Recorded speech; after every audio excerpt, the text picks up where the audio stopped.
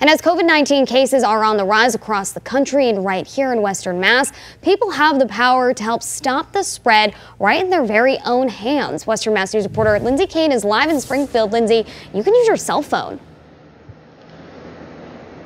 Yes, Sarah, a local technology expert tells me that your phone will actually notify you if there's a COVID 19 spike in your area.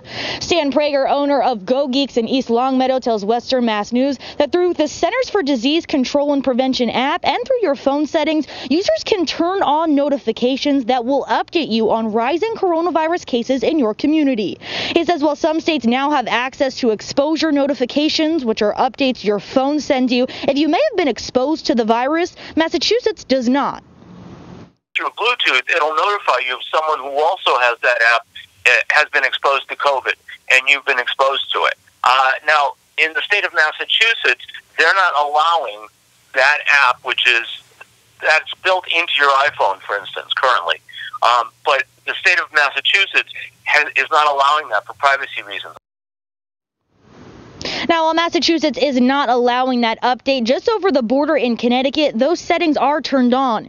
Prager says if you live on the outskirts of Connecticut or work in Connecticut, he recommends people to allow those notifications so they can help stop the spread.